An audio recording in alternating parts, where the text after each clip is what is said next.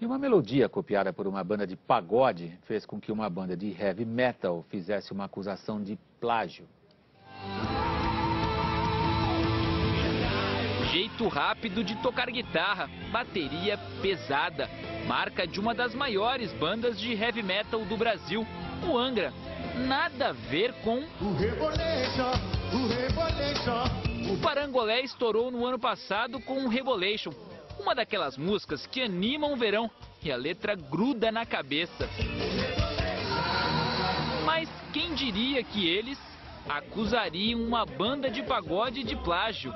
O Angra diz que a música Nova Era, gravada em 2001, teve uma melodia copiada pelo Parangolé na música Azeviche, gravada pelos baianos em 2006. A semelhança gerou uma discussão entre as bandas pela internet e vários internautas editaram vídeos comparando as duas versões.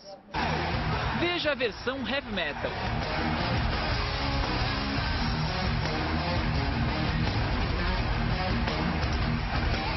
Agora o pagode.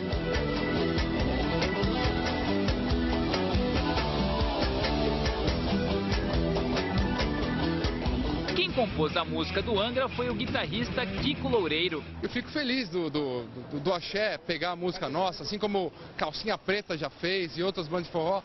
Mas tem que suavizar, pedir autorização, combinar. Isso é um fenômeno. Na Bahia, o produtor musical do Parangolé explica. Quando estava gravando Aziviche, viu um amigo tocando as notas da música do Angra no estúdio. Ele viu esse vídeo, uma videoaula de Kiko Loureiro, que é o guitarrista do Angra. Só que ele não tinha me falado, entendeu? Mas ele também não sabia que era de uma música do Angra. Ele, viu no vídeo, na videoaula e me passou. Aí eu peguei apliquei esse riff no- na música. E aí depois de quatro anos agora eu fiquei sabendo essa polêmica toda. Quando eu fui ver, o riff era do Angra.